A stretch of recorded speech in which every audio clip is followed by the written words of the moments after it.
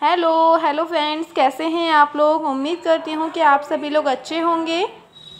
तो फ्रेंड्स, ये ब्लॉग मैं आगे कंटिन्यू कर रही हूँ, पिछले ब्लॉग से। तो फ्रेंड्स, आज जो है, वो है लगुन टीके की सेरेमनी वाला ब्लॉग है और मैं यहाँ पर ये वाला सूट डाले हुई हूँ। और आप लोगों को यहाँ पर मैंने अपना फुल गेटअप दिखाया है तो आप लोग कमेंट करके ज़रूर बताना कि मैं कैसी लग रही हूँ। और अभी हम जा रहे हैं घर से, जहाँ प्रोग्राम है वहाँ पर। घर से ज़्यादा दूर नहीं है, सामने ही प्रोग्राम है। तो अभी हम नाश्ता और साथ ही साथ में खाना खाने के लिए जा रहे हैं। तो वहाँ पर भी मैंने ज़्यादा वीडियो शूट नहीं की है बिकॉज़ आज बहुत ज़्यादा बारिश हो रखी थी। बहुत ज़्यादा इसी वजह से हम लोगों ने कुछ भी ज़्यादा अच्छे से शूट नहीं किया है मैंने वीडियो को।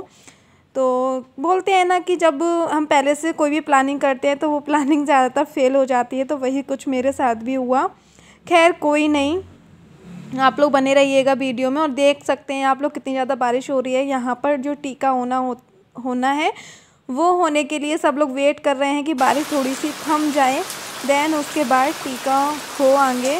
तो सभी लोग वेट करते हैं थोड़ी देर। तो जैसे ही बारिश थोड़ी सी थमती है थोड़ी सी कम होती है तो उसी बीच में जल्दी से लगन टीके वाली जो रस्म होनी है, उसे कराई जाएगी। तो फ्रेंड जितने भी तैयारी की और जितनी उम्मीदें थी सारे और सारे मज़े किरकिरे हो गए, बारिश ने, मौसम ने, लेकिन क्या ही कर सकते हैं, मौसम के आगे किसी की नहीं चलती है। खैर, जैसे ही बारिश थमी, वैसे ही भैया आ गए हैं यहाँ पर और भैया का अब टीका होगा। तो आप लोग बहुत सारी विशेष दीजिएगा भैया को, ताकि भैया की मैरिड लाइफ बहुत अच्छी रहे। और यहाँ पर सभी महिलाएँ बैठी हैं, जहाँ मंगल गीत हो रहे हैं तो आप लोग बने रहिएगा।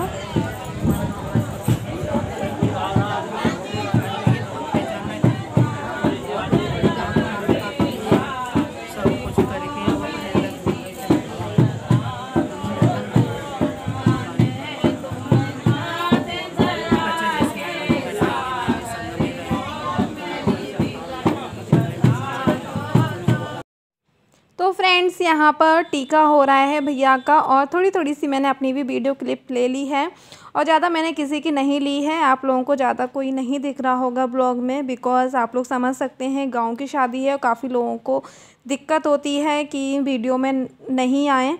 तो वीडियो में आने से काफ़ी लोगों को दिक्कत होती है तो इस वजह से मैंने ज़्यादा किसी को लिया ही नहीं है। बस अपने ही अपने लोगों को लिया है, जैसे कि मौसी जी हुई, मैं हुई, भैया हुए, मम्मी वगैरह ऐसे, जो अपने ही लोग हैं, उन्हीं लोगों को, जिन लोगों को दिक्कत नहीं है है ना? वन वर्ड अगर वन वर्ड में कहा जाए तो ये कि जिन लोगों को दिक्कत नहीं है, मैंने सिर्फ़ उन्हीं लोगों को लिया है तो ये भैया अंदर आ रहे हैं रूम में, जहाँ मौसी जी बैठी हैं, वहाँ। तो जो भी हाथ पे रखा जाता है, जो तो वो चीज़ माँ को दिया जाता है तो वही मौसी जी को देने आए हैं भैया, और मौसी जी का आशीर्वाद लेने आए हैं। और ये वीडियोस बहुत ज़्यादा पुरानी हैं। अभी मैं अपने घर पर आ चुकी हूँ और उसके बाद में सारी वीडियो एडिट कर रही हूँ क्योंकि वहाँ पर मुझे एडिट करने का बिल्कुल भी समय नहीं मिला। ऐसा कोई मैं ज़्यादा बिज़ी भी नहीं थी, लेकिन बोलते हैं ना, जहाँ हम कहीं जाते हैं तो फिर लाइफ को इन्जॉय करने लग जाते हैं। इन थोड़े यूट्यूब की दुनिया से थोड़ा सा मैं दूर रही, अलग रही।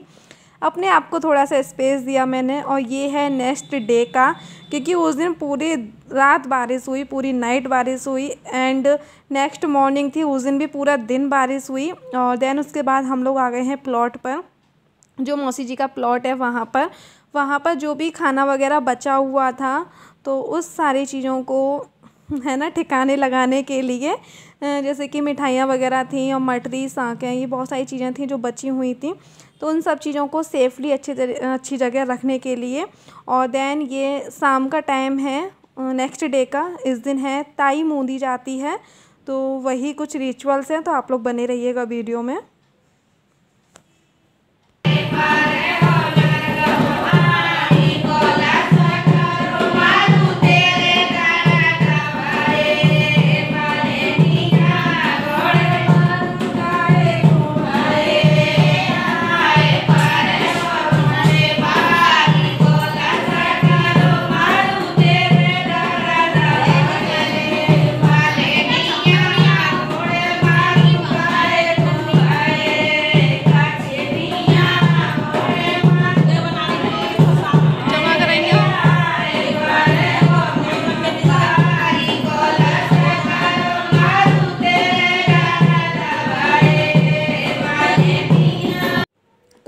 जो लोग भी यूपी से हैं, उन लोगों को ये सारे रिचुअल्स पता होंगे कि क्या क्या रिचुअल्स होते हैं। तो वही सारे रिचुअल्स मैं आप लोगों को दिखा रही हूँ। तो यहाँ पर ताई मूंदी जा रही है, वही रस्म हो रही है। कुछ इस तरीके से, इसके बारे में मैं ज़्यादा तो नहीं जानती हूँ, बस थोड़ा थोड़ा सा ही मैंने वीडियो भी क्लिप ली है। तो वही मैं आप लोगों के साथ शेयर कर रही हूँ। तो ये कुछ कलर्स टाइप के हैं, उनमें ये कलावा बंध रहा है और फ्रेंड्स इसी के साथ में इस वीडियो का मैं एंड कर रही हूँ और उम्मीद करती हूँ कि आप लोगों को वीडियो पसंद आएगी। और वीडियो थोड़ी सी भी पसंद आए तो प्लीज़ वीडियो को लाइक कर दीजिए शेयर कर दीजिए एंड चैनल को सब्सक्राइब कर दीजिए। बाय बाय कल मिलेंगे नेक्स्ट वीडियो के साथ। तब तक के लिए धन्यवाद।